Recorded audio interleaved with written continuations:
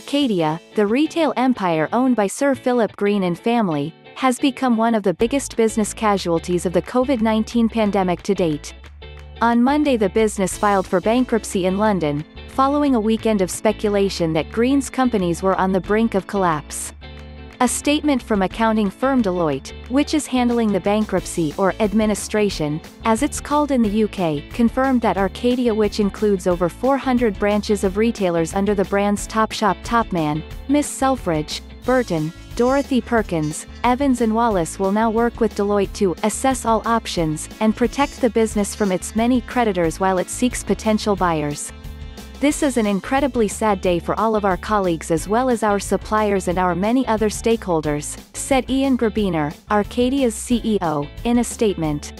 Throughout this immensely challenging time our priority has been to protect jobs and preserve the financial stability of the group in the hope that we could ride out the pandemic and come out fighting on the other side.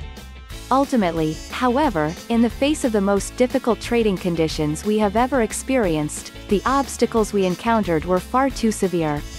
At this point, the fate of Arcadia's 13,000 employees remains unclear. More than 9,000 of the company's workers have already been furloughed. There was no 11th hour deal this time for Green, whose retail empire has limped through the pandemic as more nimble, online brands like ASOS and Boohoo have won over Topshop's once loyal army of young shoppers.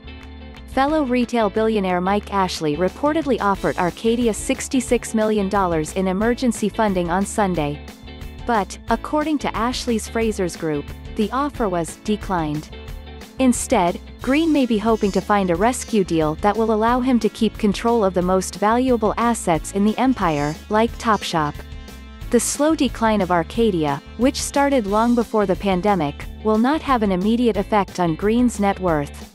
Forbes estimates he and his wife Christina Green to be worth $2.3 billion, even after U.S. private equity investment firm Leonard Green sold its 25% stake in Topshop for just $1 in 2019.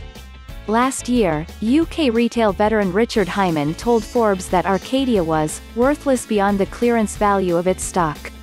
Luckily for the Greens, the lion's share of their wealth stems from a $2.1 billion £1.2 billion dividend they paid themselves in 2005, during the glory days of their business.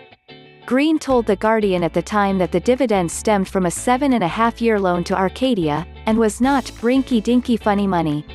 The couple could, however, end up dipping into their personal wealth to settle some of Arcadia's bills, just as they were forced to do in 2017 amid public and political scrutiny over Green leaving the UK.